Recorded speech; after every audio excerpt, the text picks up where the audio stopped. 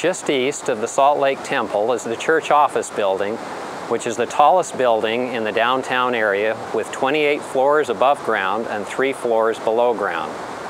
Completed in 1972, this office tower houses nearly all the departmental organizations of the Church of Jesus Christ of Latter-day Saints. It is flanked by two four-story wings. Prior to the construction of this edifice, administrative offices of the church were scattered in buildings throughout the city. It sits on what was originally Brigham Young's farm. The building features the church historical library on the main floor and the two observation decks on the 26th floor with panoramic views of Temple Square, Salt Lake City, the mountains, and the valley.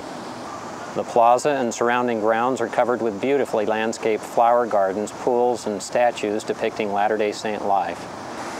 The central feature of the plaza is a large fountain with seven sets of jet streams interplaying in a variety of heights, culminating in one large display rising to a height of 52 feet.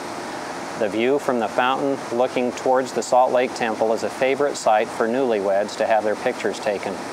All the water used in the church office building and on the grounds comes from four underground water wells. The large relief maps on the outside of the building have been purposely distorted. The longitude panel runs through Jerusalem on the eastern hemisphere and through Palmyra, New York on the western hemisphere. The west wing of the church office building sits on property where Horace Kimball Whitney and his wife Helen Mar Kimball once had a home. The Whitneys were the last couple to be sealed in the Nauvoo Temple prior to the pioneer exodus.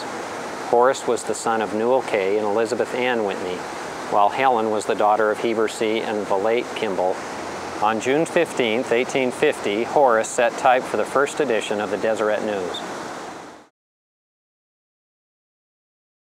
For more information on hallowed ground sacred journeys, please visit virtualtours.byu.edu.